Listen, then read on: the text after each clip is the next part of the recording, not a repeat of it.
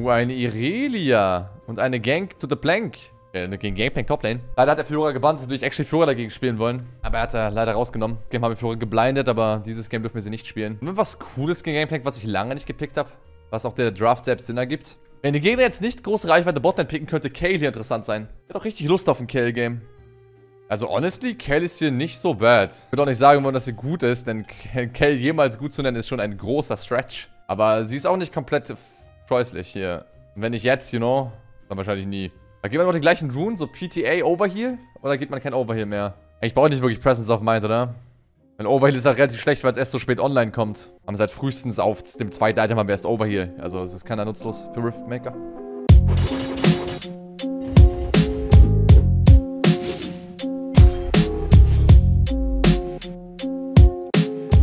Right, soll Level 3 gegankt werden, so wie der Typ jetzt die Wave spielt.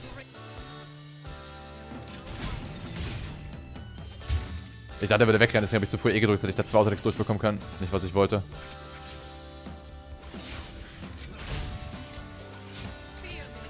Ich falte dich, Mates, wenn du die Waves so spielst. Wissen beide, dass du willst, dass ich gegankt werde. Dann pushe ich die Wave einfach selbst hart, weil ich nicht zulassen will, dass die Wave slow pusht. Nämlich währenddessen einfach harassen darf for free. Aber so meine Bot jetzt auch mitnehmen, wurden schon mal gesolo-bolos. Echt nicht so geil ist. Weil ich habe gerade technisch so getan, als hätte ich gewardet, was aber nicht viel bringt, weil ich auch ein bisschen Lane gewardet habe. Aber das weiß ja nicht unbedingt der K6. Das weiß, halt den, weiß er nicht und denkt, dass gerade ich einfach gewardet habe. Das ist ein kleiner Bluff quasi. Nachdem die Gameplay kommuniziert, war es gut oder halt nicht. Aber dadurch, dass ich Leashe und Gameplay die Wave so spielt, wie er spielt, will er dafür sorgen, dass ich gankable bin. Ich bin Level 3 Slow Push Gank. Und dafür sorge ich halt, dass ich nicht gankable bin. Indem ich so spiele, dass ich die Wave einfach hard pushe. Denn Kerl hat ein stärkeres Early Game, als Leute denken. Einfach Rille Passive so viel Attack, äh, Attack Speed gibt und auch so viel Movement Speed. Ich will schon Hilfe bei der Wave, Olaf, aber guess hat meine Pings nicht verstanden. Nur, dass er den nicht freezen darf. Aber das hat immer noch nicht wirklich gecheckt. Jetzt hat das gecheckt. Nice. Hilfreich. Wirklich hilfreich von Olaf. Hätten wir schon früher machen sollen. Game, der kann die Wave jetzt freezen, wenn er will. Also mit seinem Gesicht face tanken, aber es nimmt, er nimmt zu viel Schaden. Also selbst wenn er es gemacht hätte, er könnte es machen, wie gesagt, dann würde ich einfach zurück TPen und ihn harassen. Denke ich, TP so oder so zurück, ist Season 12.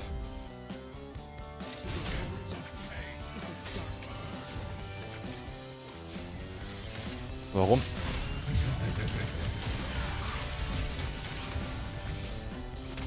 Wenn ich wünsche, hätte ein Ward ab. Hm, ich hatte kein Ward ab, sonst kann ich einfach ihn töten im Busch, aber ich hatte kein Ward. Also muss es äh, meinem Olaf überlassen, aber ich habe ihn jetzt eigentlich schon keinen outscaled, den GP. Kyles größtes Problem ist eigentlich, sie will ein Split-Pusher sein, aber sie macht kein Damage auf Türme, weil du einfach nur On-Damage kaufst mit Kerl, ne? Dein E, deine Ult, also deine, deine Ult-Upgrades quasi, diese Energiewellen. Und auch Nash's Tubes und hat alles nur Damage auf Monster, Minions und Champions auf On-Hit-Basis. Kale kann ich wirklich, äh, ja, Progress machen dann. Aber nice, im Gangplank sehr, sehr runtergekloppt. Leider nicht gesolo-killt. Aber almost.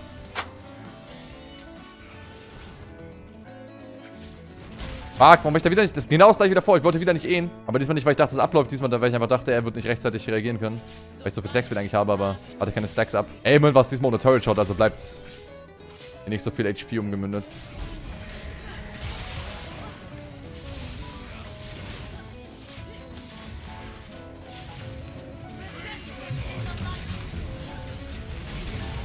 Warte, was ist das? Ist einfach legit den ganzen Weg rumgelaufen und mich einfach getötet. Kann ich wirklich was besseres ulten als Ignite, Leona Q und Gangplank ult. Das ist echt scheiße.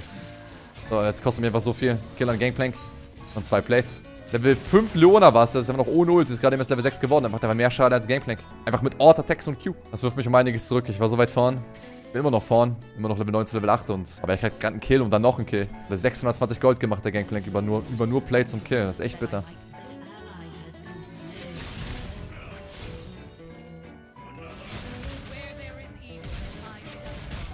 Wenn es kritisch gewesen wäre, wäre ich gestorben.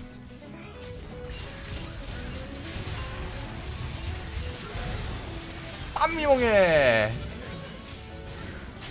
Liebe dich, Olaf. Bist zwar spät gekommen, aber du bist gekommen. Danke, Bro. Keiner wieder bei dem Gang davor, wo auch spät kam, aber doch noch rechtzeitig. Im Deck hat TP ab. Eigentlich lohnt es sich kaum, den Turm zu hitten. Ich mache eh kein Damage auf Turrets. Aber wir können die diven.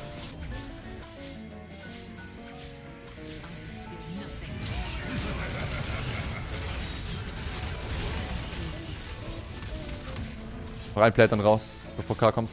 Ult war vielleicht ein bisschen früh, aber nicht wirklich. Also klar, der Turm macht am Ende mehr Schaden, aber wenn Gangplank kritet, stirbt Olaf halt. Und dann macht er halt ungefähr so viel Schaden wie der Turret dann später. Von daher, es war eigentlich keiner Feind.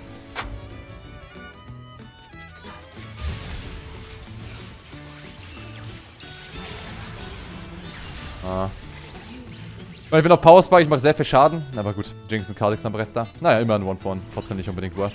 Ja, also wenn Kha'Zix und Irea beide auf Power Spike sind, ist halt extrem schwer, sie zu out-attacken. Weil sie einfach mich dann one-hitten können natürlich. Gibt es irgendein cooles Armor-Item dieses Game? Wenn Sonjas ergibt Sinn gegen so viel AD. War es eigentlich ein uncooles Armor-Item? Gibt es irgendwie so Titans Resolve aus TFT oder so? Wer weiß. Aber Boys. Da steht jetzt noch rauf oder was ihr Call hier?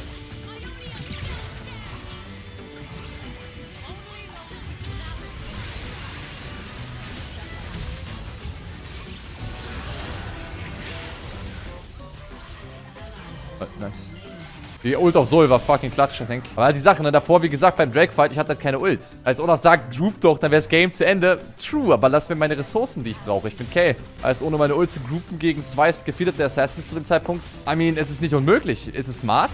Disagreed. Gerade komme ich rein und kann einfach so viel machen.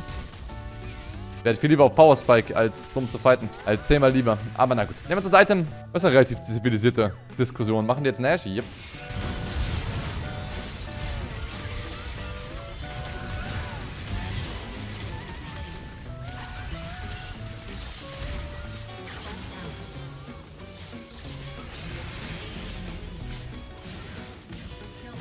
Lol. Ich habe auch den Ding gehittet und ist am Wrap-Up gestorben am Ende. Also ich glaube, wie ich das Spiel spiele, ist schon ganz okay. Dass ich aber auf Ressourcen kämpfen komme und nicht auf Nicht-Ressourcen quasi. Aber dass wir den ersten verlieren, war dumm von Ezreal und von mir. Und Spotzeit zu zeigen nach dem Reset nach Drake. Klar, ich will für Sonjas greeden und das noch haben. Ich will einfach Durans Shield verkaufen so. Item ist eh useless, also. Das ist auch quite bad. Ist Deadman's Plate nicht unbedingt so bad. Oder selbst vielleicht Death's Dance. Death's Dance. Verwehrte AD auch. Ich Autotacke zumindest. Honestly, Death's Dance. Es klingt ziemlich int, aber es könnte fantastisch sein. Weil ich war so schnell, dass ich einfach reingelaufen bin. Oh, das ist eine Tragödie. Er hat einfach Olaf geholt statt mich. oh, wow. Aber die Rea ein bisschen zu OP, Leute. Holy fuck. Double GA, äh, Double Stopwatch und Ult und Flash. Eine Menge Defensive Tools. Wird ausreichen. Gehen aber auch wirklich viel Dive. Ist Einage. Okay, so ist fucking dead. Ah, ist schon mal sehr schlecht. Also wichtigster Champion bei solchen Poke-Situationen. Ich kann ihn nämlich nicht wirklich hitten. Das ist immer das Problem mit Kale. Kannst einfach nicht auto-attacken. Aber whatever, wir machen den Outspawn. Ich bin jetzt Level 16 zumindest. Mit den besonders ich das nicht, nicht wirklich schlimm.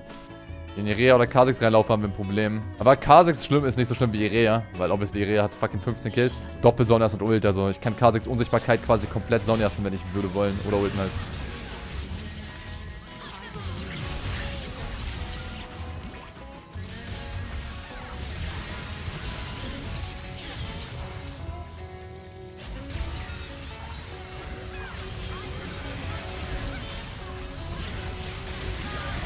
Muss das wieder ulten, I think.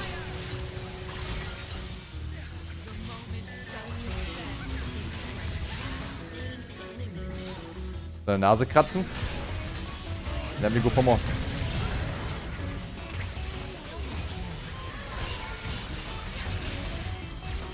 Er hat noch Ult sehen. Ich habe noch eine zweite Stopwatch. Hm. Ah! Scheiße. Weil hätte ich Sonjas ein bisschen statt A zu schreien. Oder sehen hätte es ulten können, statt nicht zu machen. Aber ich habe A geschrien, ich hätte Sonjas. My bad. Wir hätten legit enden können, wenn ich nicht sterbe. Aber auch nur, wenn Jinx so dumm stirbt wie jetzt. Sonst hätte sie die Wave geklärt.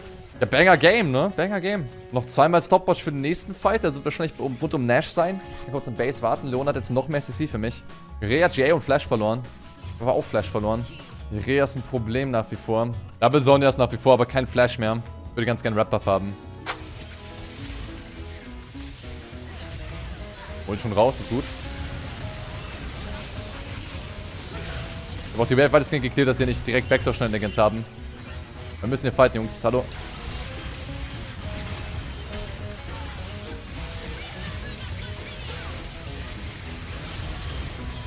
Ach, sehen hat nicht mal sich selbst geultet. Ich bin so OP. So, habe ich den Fight gecarried, aber kann die den Backdown aufhalten?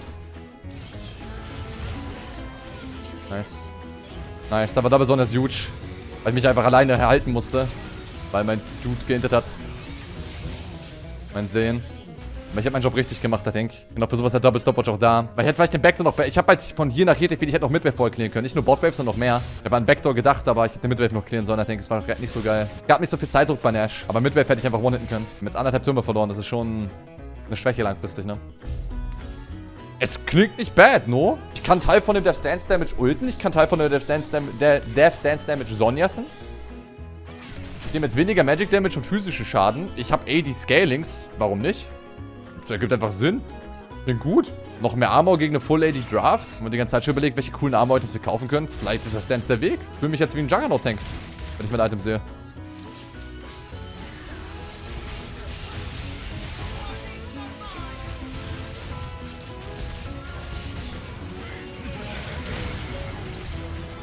Wir noch Sonne? Ich bin fein.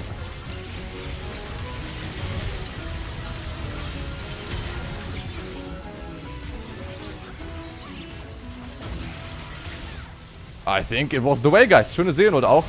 Aber ich hätte mich eh Sonne können. Noch vielen Dank an den Olaf für die Early Game Hilfe. Mit den Reset und so. Weil ich einfach zu tanky für die Gegner gerade. Like legit zu tanky.